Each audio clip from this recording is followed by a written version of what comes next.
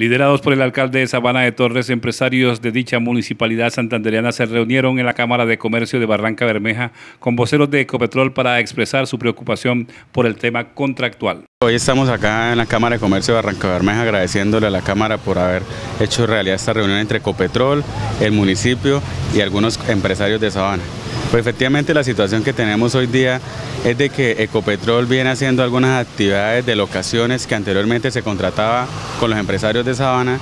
eh, y lo está haciendo en algo que llama un contrato macro, lo cual nos tiene perjudicados a todo el municipio,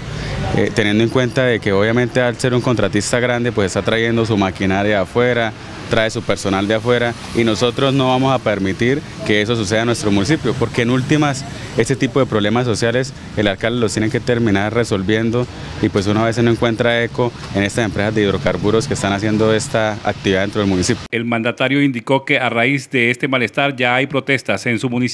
Claro, hemos tenido varias protestas, hemos tenido varios paros a Ecopetrol. Eh, uno como alcalde pues va y habla con la gente, pero en realidad en este momento la gente tiene la razón.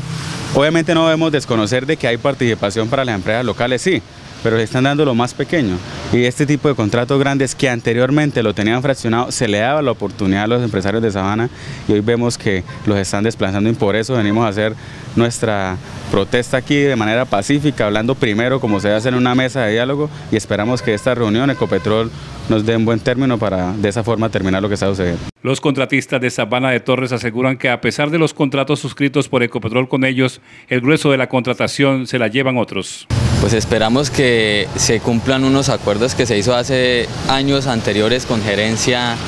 eh, nacional, lo de las 42 contrataciones de la línea local, para poder esto nosotros como empresas locales eh, no ser tan desplazadas por firmas grandes, sino poder crecer y desarrollarnos en nuestro municipio donde nosotros tributamos, donde nosotros somos los, donde vivimos, donde nosotros prácticamente eh, hacemos que el pueblo desarrolle. La Cámara de Comercio de Barranca Bermeja tiene en su jurisdicción el municipio de Sabana de Torres.